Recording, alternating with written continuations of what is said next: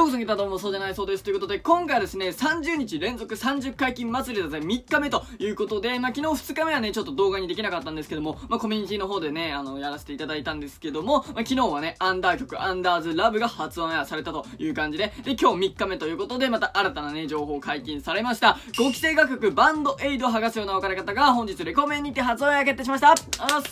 2日連続初オンエア、もう初オンエア祭りだぜみたいな。8月31日に発売となります、乃木坂4630枚目シングルに収録される5期生楽曲、バンドアイル博士の別れ方が、本日8月3日の23時40分頃から、田村真由と一ノ瀬美久が生出演する文化放送レコメンにて初オンエアが決定いたしました。5期生の一ノ瀬美久がゲスト出演し、この楽曲の紹介をいたしますと、レギュラー出演しております田村真由と生放送でお届けしますので、皆様ぜひお聞き逃しなくということで、いや、ついに来ましたね。まあ、このご期生曲、バンドエイド博士の別れ方は、あ真夏の全国スター2022大阪、広島、福岡行った人はもうすでにね、一回聞いてると思うんですけど、一回はね、聞いてると思うんですけど、全然大阪、広島、福岡行ってない人は、聞けてない、聞いてない状態だったと思うので、まあ、昨日のね、アンダーズラブもそうですけど、聞いてない状態だったので、ついにね、聞けるよと発音やされるぞと。このバンドエイド博士の別れ方、ご期生楽曲ということで、ご期生の中から代表してというか、まあ、今回のこのレコメン、今日のレコメンには、ミックがゲスト出演してくれるよっていう、まあ、ご期生がね、レコメンにに出演する、登場すること自体も初めてだと思うし、で、そこでね、この曲のことについてミークがね、話してくれる楽曲のね、紹介をしてくれるみたいなので、それもね、めちゃめちゃ楽しみだなと思う。そのレコメン自体もね、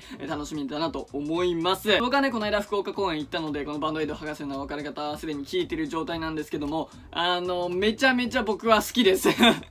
ね、これぐらいにしとかないとネタバレになっちゃうからね。あの、これ僕は好きでしたね。ということで、改めまして30番目シングル5期生楽曲バンドエイド博士の別れ方、今日8月3日のレコメンにて、えー、発売されます。レコメン自体はね、22時から25時までやってるんですけど、まゆちゃんとミックの出演は23時40分から23時、えー、25時か、までの間だよとなってるので、えー、まあ、えー、聞き始めるのは23時40分。まあ、いつも聞いてる人はね、大丈夫だと思うんですけども、23時40分から聞いてればいいんじゃないかなと思います。皆さんぜひお聞き逃しなく、この動画少しでもいいなと思ったらチャンネル登録と高評価よろしくお願いします。Twitter と Instagram もやってるんで、概要欄からフォローできるんで、そっちのフォローもしてくれたらめちゃめちゃ嬉しいです。バイバイ